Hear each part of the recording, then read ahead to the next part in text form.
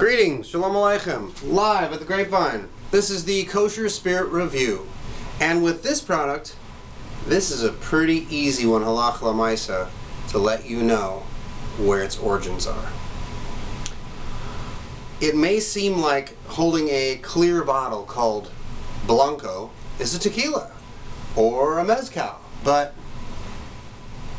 this is its lost sister or brother that was ignored for since 1915 until now. Was not legal to bring in the United States. This is Cielo Rojo Bacanora. Bacanora is a species of the agave plant that is related to the Webers and the other different agave variations that take place in Mexico that is making tequila and making mezcal. But this is Bacanora. This is from the Sonora region, just below Arizona, all the way in the north of Mexico.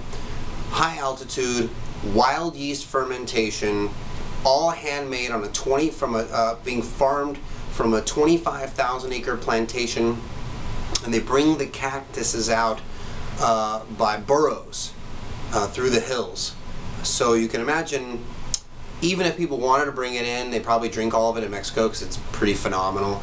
Um, on the nosing, it is, I call it a great middle ground between a tequila and a mezcal. Mezcal being very smoky, very earthy, very stone. Uh, this is also cooked in the same way where they put it in the ground and, and around clay and stones, but it doesn't have that overpower. It seems like it's a little more tempered. And there is just this very rich, deep, sweet essence to this, whereas Mezcal has got this smoky front, and tequila is more subtle. It makes sense that tequila became more popular in America. Right, so this has almost got a medicinal characteristic to it. There's this like crazy overpowering sweet fruitiness, but not in a sugar way. It's like cracking open a, a blood orange for the first time or uh, a pineapple kind of thing. But it's not those scents. It's like woody. It's got like red herbs, like like maybe saffron or but like a cooked smoked saffron cream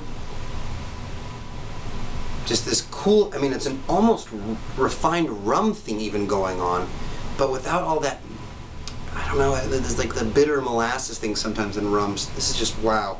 L'chaim bracha to a beautiful week to uh, a great shabbos and a great life.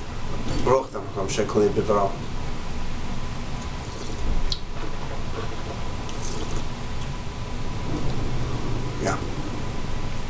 Okay Imagine a resposado, Reposado aged tequila, fullness and flavor, but the but the exciting, I mean the temperament of a añejo, the excitingness of a blanco, and that little hair of smokiness like a mezcal. Very different. There's almost like mineral stuff going on, like um, like a cool wine. I mean, this is it's intriguing.